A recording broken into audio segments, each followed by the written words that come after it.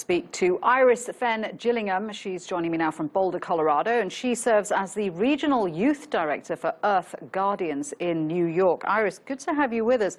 Um, there's clearly a lot of momentum now building behind this COP24 conference and a lot of talk about uh, what countries, businesses, people need to do to reduce the impact of climate change. How can we quantify how climate change is affecting countries?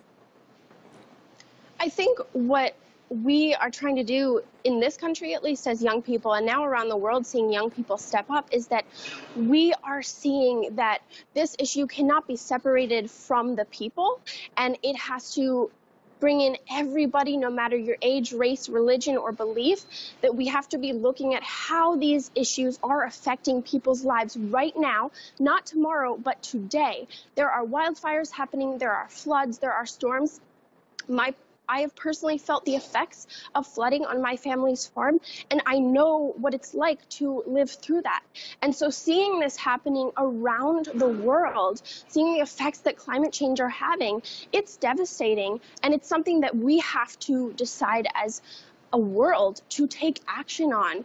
That means cultural shifts, just transitions, towards renewable energy, making conscious choices because every impact we have in the world has an effect. Uh, trying to get the message through to everyone, though, uh, is difficult, isn't it? Because uh, the UN, for example, calling for a move away from fossil fuels. But, you know, uh, you're in a country that, where fossil fuels comprise a, a, large sector of the US workforce. And you also have a president who has vowed to help that workforce. So how do you change attitudes? I think it's really hard to bring this conversation about, but it is dire. It is so important for us to be looking at it. And when you think about weighing the effects of fossil fuel extraction on our communities, it has such a huge impact. I've had the opportunity to travel to Houston, Texas, where there's a 50 mile stretch of nonstop petrochemical plants and oil refineries. And when you look at it, it looks devastating. But then when you look closer, you see that in between those big petrochemical plants are little houses, schools, and playgrounds. And that's when you have to realize that is this really worth it? Is our addiction to fossil fuels worth the effects and health issues that it is causing on our lives, our families? So it's really hard to think that our, as a young person, like our administration right now is not taking action.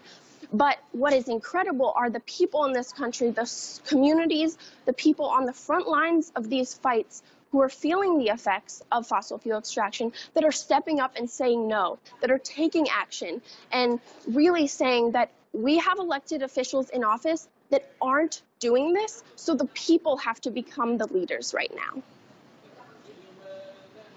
Iris, great to hear your passion there. Iris Fen Gillingham speaking to us live from Boulder, Colorado.